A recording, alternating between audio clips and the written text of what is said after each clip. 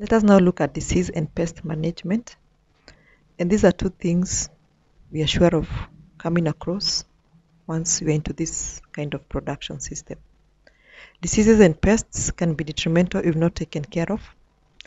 Learning how to identify them as they arise and how to properly manage them is of great importance to you as a farmer. We have extensively covered this in our vaccination and biosecurity courses and we have shared the links just in case you have not had a chance to go through the courses.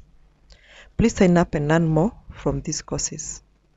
For good productivity, keep your chicken as healthy as possible. When they get sick, you'll always have to spend a lot of money on treatment and in turn you're going to make losses instead of the profits that you intended. Prevention is always better than cure. Aiming to provide adequate shelter, quality feed, and constant care is important. Adhere to vaccination schedules and biosecurity measures as outlined in our other courses in vaccination and biosecurity. External parasites, that is fleas, mites, and lice, can be controlled by maintaining cleanliness around the compound and within the poultry house. Poultry dusts can be used where the need arises to cater for this as well. Internal parasites like worms are controlled using dewormers. Have a routine of deworming your birds every three months so as to keep the pressure as low as possible.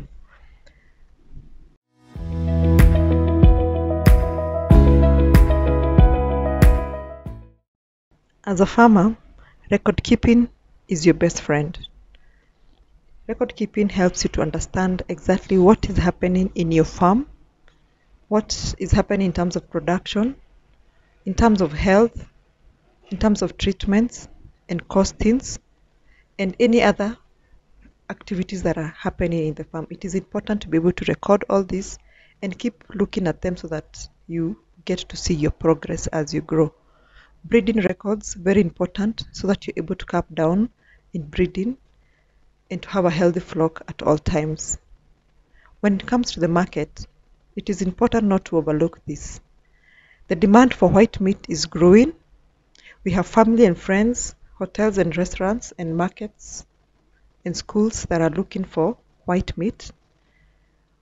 It is important to understand who do you intend to sell your product to? Do you have a ready market?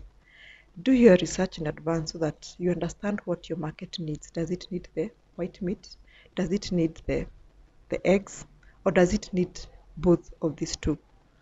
Understanding that helps you walk an easier journey because you know the kind of production you're going into from the very beginning.